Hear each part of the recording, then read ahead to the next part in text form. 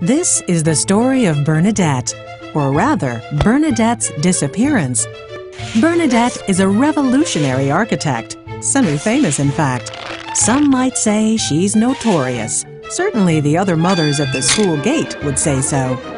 Bernadette doesn't much like people, or spaces, or Seattle, where she lives, which is why she has no friends and a virtual PA who works in India.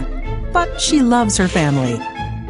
Meet her husband, Elgie. He's a big cheese software guru at Microsoft. He's won lots of cubes for his efforts and gets paid handsomely. Then there's daughter Bee, super gifted Bee, the top girl in school who's really going places. Bee had been promised anything she liked if she got straight A's. And guess what? She got them. And that's where it all started, when Bee asked if they could all go on a family vacation together. Of course, being Bee, it wasn't the normal run of the mill vacation, but the last thing she expected was a trip to the ends of the earth to find her mom. Where'd you go, Bernadette?